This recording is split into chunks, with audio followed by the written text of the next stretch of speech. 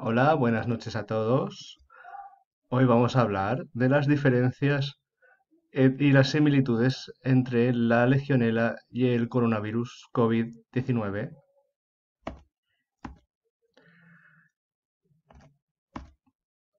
Bueno, las similitudes eh, serían la población de riesgo, porque eh, la población de riesgos es bastante similar, los síntomas comunes de ambas patologías y que ambas poseen dos variantes que pasaremos a describir.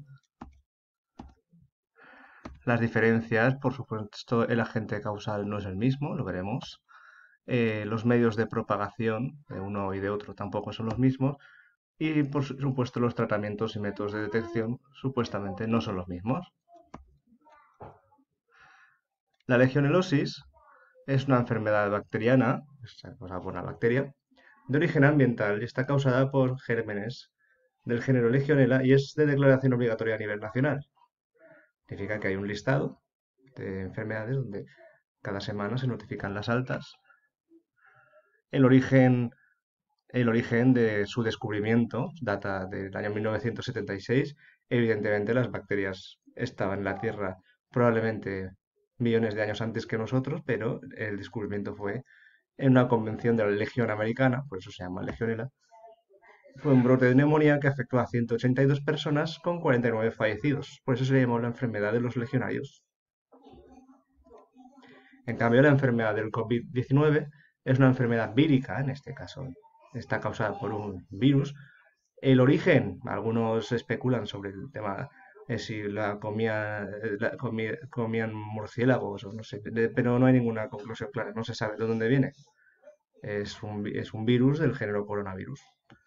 Eh, los primeros casos y transmisiones se dieron en la localidad de Wuhan, en China, en mediados del 2019, y se le llamó el nuevo coronavirus, pero ya se conocían otros similares. Coronavirus, los coronavirus también existen desde hace mucho tiempo, no es nuevo de ahora. Todo apunta a que las primeras transmisiones de un, de un coronavirus de estas características pues se han dado a mediados del 2019, pero eh, infecciones por coronavirus habrán habido pues de siempre. La, primera similitud que me llama mucho la atención es la población de riesgo. La población de riesgo, eh, el ser humano, o sea que destacar que no afecta a animales, no produce síntomas en otros animales, y especialmente edad avanzada, y no especialmente la infancia, otras enfermedades, otras enfermedades, eh, hay que tener especial precaución con los niños y con los ancianos.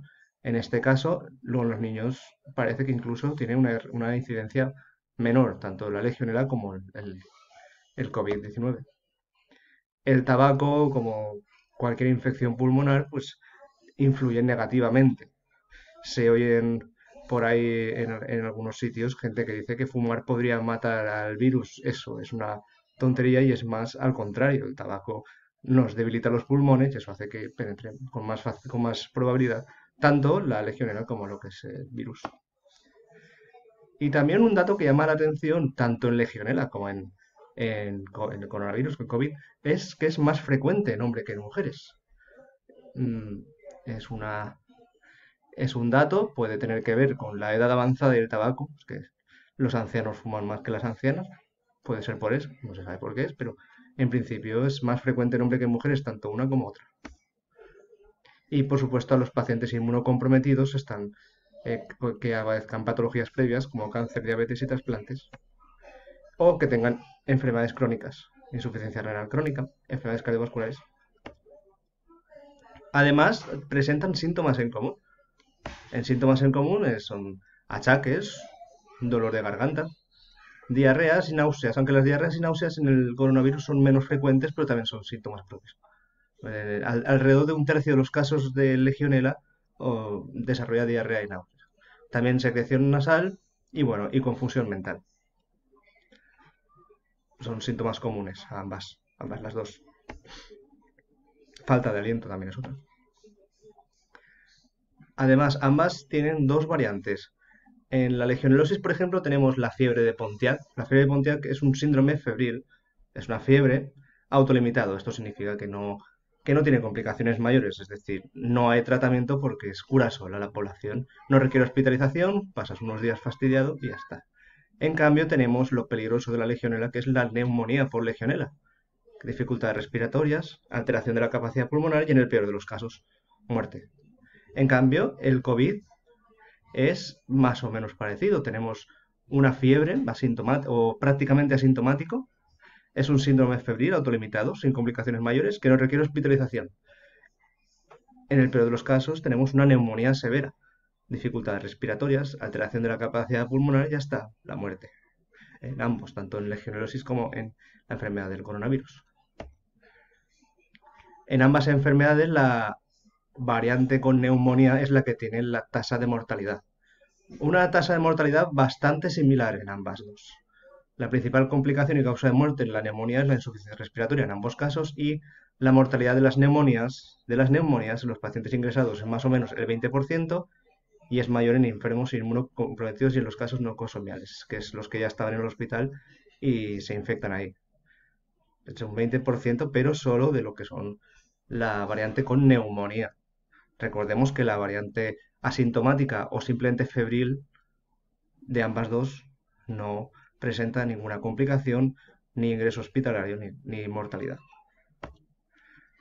Las diferencias, la principal diferencia, evidentemente, bueno, es el agente causal. Quien, eh, la legionela es una bacteria, una bacteria gram negativa, y el COVID-19 es un virus del género coronavirus. Las bacterias se reproducen por sí solas por un mecanismo que se llama división celular. Es decir, no requieren la invasión o no requieren penetrar dentro de las células para reproducirse, se pueden reproducir fuera de ellas. las bacterias se pueden tratar con antibióticos, pero mucho cuidado con la legionela, porque la legionela no se puede tratar con antibióticos de amplio espectro, solo complican, tienen que ser antibióticos específicos para la legionela.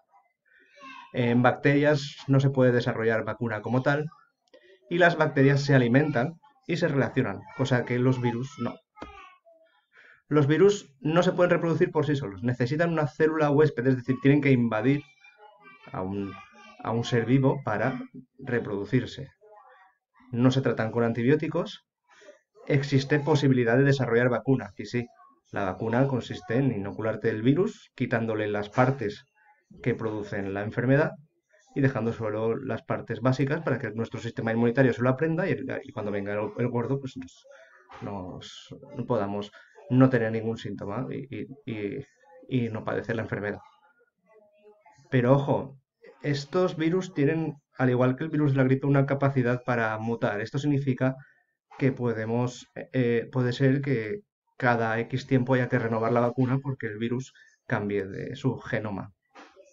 Los virus no tienen eh, ni orgánulos ni sistemas de membranas, es decir, no tienen ni citoplasma ni, nucleoide, a, diferencia de las bacterias. También son diferentes los métodos de propagación. La legionela, la legionela se transmite a través única y exclusivamente de agua micronizada, agua pulverizada, gotas inferiores a 5 micras, a 5 micras, que son capaces de penetrar en los pulmones y al penetrar en los pulmones, pues pueden, al penetrar en los pulmones, eh, pueden, pueden eh, pues, si hay una elevada carga bacteriana, se entiende, pueden ser capaces de invadir el pulmón y reproducirse dentro de él. No, eh, la legionela no es contagiosa por contacto, por contacto. Tienes el agua infectada con legionela, no la tocas, no pasa nada. Puedes bebértela, no pasa absolutamente nada, no te contagias, solo con inhalación del agua micronizada. En cambio, el COVID, sí, con contacto con superficies te puedes contagiar o con las secreciones de otra persona. Y con baja carga de virus, con pocos virus, te puedes infectar y desarrollar la enfermedad. Algunos dicen que, bueno, esos son rumores que ocurren por ahí, que eh, los vaos y ciertos tratamientos de pulmonares pueden favorecer lo que es la, la complicación de la neumonía por COVID, al igual que pasaría con la legionela. Por tanto, igual es verdad que no es lo mismo el contacto con superficies, estoy hablando por hablar, ¿eh? tampoco lo sé, pero no es lo mismo el contacto con superficies o las secreciones que quizás si respiras agua cargada con COVID-19, igual los efectos son más graves, más parecidos a los de una legionela. Estoy hablando por hablar, ¿eh? tampoco es, algo que yo sepa, me lo imagino o, especulo, ¿no? No son contagiosas por el contacto con animales. Eh, tranquilos con vuestras mascotas porque no se van a contagiar ni de una ni de otra. No eh, son foco de contagio importante. Sí que es verdad que son superficies y como todas las superficies, pues si están infectadas, en algún momento te podrías infectar. Por tanto, los que saquéis a los perros a pasear, pues sí que eso de desinfectar las patitas, pues estaría bien, aunque tampoco es necesario. En, las superficies como tan, tan porosas como puede ser un perro, aguantaría el virus como mucho unos minutos. Y tampoco se contagian ninguno de los dos por alimentos ni por beber agua. Ni beber agua contaminada ni alimentos. En principio. No son, no son, enfermedades de transmisión alimentaria, de alguna manera. Eh, los tratamientos y métodos de detección también difieren. La legionela requiere tratamiento, eh, antibióticos específicos. Los de amplio espectro no valen para la legionela, tienen que ser específicos para la legionela. Eh, para la legionela no existe vacuna como tal, ni la posibilidad de desarrollarlos, una enfermedad bacteriana. Algunas enfermedades bacterianas tienen vacuna, pero no son vacunas propiamente dichas. Es otra, otra cosa que se le llama vacuna para facilitar. En cambio, el COVID es la vacuna está en desarrollo, porque es un virus, los virus se pueden vacunar, y hay tratamientos alternativos no comprobados. Y aquí es donde pues, pues hacen eh, toda una serie de información que, carecemos de datos suficientes para saber la veracidad, ¿no? Pues podría ser tratamientos para la malaria, para la malaria que podrían, por lo menos, desfavorecer la infección pulmonar. Se dice, se rumorea. ¿Y por qué no algunos tratamientos para legionela que puedan haber para las mismas finalidades? ¿Por qué no? Ahí lo dejo, por si alguien quiere investigar más a fondo. Pero vamos, eh, no, hay, no hay ningún dato que diga que ningún tratamiento de legionela pueda servir para el coronavirus. Estaría bueno. Vale, los métodos de detección en la legionela, como tenemos en cuenta que la legionela solo está en los pulmones, no está en ningún otro sitio, solo se puede eh, detectar la legionela en sí con cultivos bacterianos. Cultivos bacterianos, eh, las nuevas técnicas eh, de reacción en cadena de, de, bueno, de PCR, de polimerasa, la reacción en cadena polimerasa, eh, detectan el ADN específico de la bacteria legionela y bueno, pues es un método muy fiable, solamente que la, que la obtención de una buena muestra no es sencilla porque tienes que, tomar muestra pulmonar y eso no es muy fácil. Es más efectivo el antígeno específico en la orina. La orina, al, al estar invadidos por la legionela, segregamos unos anticuerpos que están presentes en la orina y son muy fáciles de detectar y muy fiables. En cambio, el COVID-19 sí que presenta carga vírica en sangre y en otros órganos y secreciones, es más fácil detectar en ese aspecto, no hace falta cultivar muestras pulmonares, y también anticuerpos específicos. También se pueden hacer test rápidos con la misma tecnología PCR, reacción en cadena polimerasa, que son los que están reivindicando que existen, pero no hay, suficientes o tardan en llegar, pero esos son métodos que en 10 o 15 minutos te determinan con una fiabilidad muy buena si tienes o no la enfermedad del coronavirus y poder actuar en consecuencia como podría ser, aunque no presentes síntomas, aunque estos síntomas sean leves, aislarte del resto de la población y no tener la necesidad en un futuro de aislarnos todos si no estamos infectados. Entonces esa es una posibilidad, es el método coreano, es hacer muchos, muchos, muchos test para poder eh, aislar única y exclusivamente a la gente que realmente lo necesita. Si estamos por la calle todos sin coronavirus no nos vamos a infectar, temas que haya alguien. Y bueno, pues nada, esto es todo por hoy. Eh, muchas gracias por su atención. Y bueno, espero haber aportado algo o que el vídeo haya sido de vuestro agrado. Y nada, para lo que cualquier cosa que necesitéis, eh, me tenéis aquí. Un saludo, hasta luego.